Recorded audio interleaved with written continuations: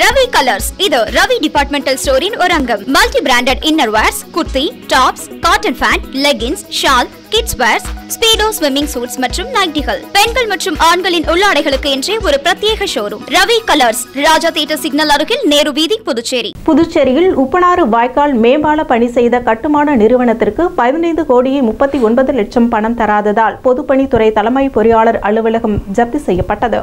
புதுச்சேரி நகர பகுதியில் நிலவும் போக்குவரத்து நெரிசலை சமாளிக்க உப்பனாறு வாய்க்கால் மீது மேம்பாலம் கட்ட அரசு திட்டமிட்டது. காமராஜர் சாலை பாலாஜி தியேட்டர் அருகே துவங்கி மறைமலை அடிகள் சாலை வரை எழுநூற்று முப்பத்தி இரண்டு மீட்டர் நீளம் பனிரெண்டு மீட்டர் அகலம் கொண்ட இரண்டு வழிச்சாலையும் இருபுறமும் ஒன்று புள்ளி ஐந்து மீட்டர் அகல நடைபாதையுடன் பாலம் அமைக்கும் பணி கடந்த இரண்டாயிரத்தி எட்டாம் ஆண்டு பூமி பூஜை நடைபெற்றது.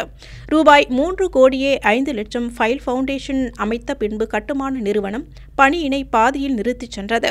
அதன் பின்பு கடந்த இரண்டாயிரத்தி பதினான்காம் ஆண்டு ஹட்கோ வங்கியில் ரூபாய் முப்பத்தி ஏழு கோடி கடன் பெற்று மாநில அரசின் ரூபாய் ஏழு கோடியே பதினைந்து லட்சம் நிதியுடன் மேம்பாலம் கட்டுமான பணி மீண்டும் தொடங்கியது என்ஆர் காங்கிரஸ் ஆட்சி மாறி காங்கிரஸ் ஆட்சி வந்த பிறகு கட்டுமான பணி மேற்கொள்ள பல்வேறு இடையூறுகள் நடைபெற்றது. மேம்பாலத்துடன் காமராஜர் சாலை மறைமலை அடிகள் சாலையை இணைக்கும் திட்டம் வரைபடத்தை பொதுப்பணித்துறை கடைசி வரை வழங்கவில்லை. இதனால் கட்டுமான பணியினை முடிக்க முடியாத நிலை ஏற்பட்டது. கட்டுமான நிறுவனம் முடித்த பணிகளுக்கு அரசு ரூபாய் ஐந்து கோடி பணம் வழங்காமல் காலம் தாழ்த்தியது.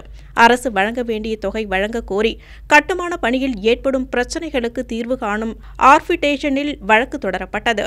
அதில் கட்டுமான நிறுவனத்திற்கு புதுச்சேரி பொதுப்பணித்துறை ரூபாய் பதிமூன்று கோடியை வட்டியுடன் வழங்க கடந்த இரண்டு இரண்டாயிரத்தி இருபத்தி ஒன்றாம் ஆண்டு உத்தரவிட்டது. ஆனால் பொதுப்பணித்துறை அத்தொகையினை வழங்காமல் இழுத்தடித்து வந்தது. தீர்ப்பு மனு புதுச்சேரி மூன்றாவது கூடுதல் மாவட்ட நீதிமன்றத்தில் தாக்கல் செய்யப்பட்டது. மனுவினை விசாரித்த நீதிபதி இளவரசன் வட்டியுடன் சேர்த்து ரூபாய் பதினைந்து கோடியே முப்பத்தி ஒன்பது லட்சம் பணத்தை கட்டுமான நிறுவனத்திற்கு பொதுப்பணித்துறை வழங்க உத்தரவிட்டார். ஆனால் பொதுப்பணித்துறை பணம் தரவில்லை. இதைத் தொடர்ந்து பொதுப்பணித்துறை தலைமை பொறியாளர் அலுவலகத்தை ஜப்தி செய்ய நீதிமன்றம் உத்தரவிட்டது. இந்நிலையில் நவம்பர் பதினைந்தாம் தேதி மதியம் புசி வீதியில் உள்ள புதுச்சேரி தலைமை பொறியாளர் அலுவலகம் வந்த நீதிமன்ற அமீனா அம்பி கட்டுமான நிறுவன மேலாளர் பன்னீர்செல்வம் வருவாய்த்துறை அதிகாரிகள் தலைமை பொறியாளர் அலுவலகத்தை ஜப்தி செய்து அதற்கான நோட்டீஸை அலுவலக வாசலில் ஒட்டிச் சென்றனர்.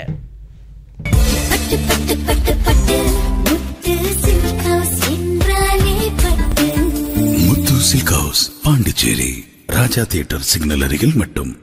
புதுச்சேரி உங்கள் ஏஎம்என் டிவி செய்திகளை யூடியூபில் உடனுக்குடன் காண ஏஎம்என் டிவி பாண்டிச்சேரி சேனலை சப்ஸ்கிரைப் செய்யுங்கள். பெல் பட்டனை மறக்காமல் கிளிக் செய்யுங்கள்.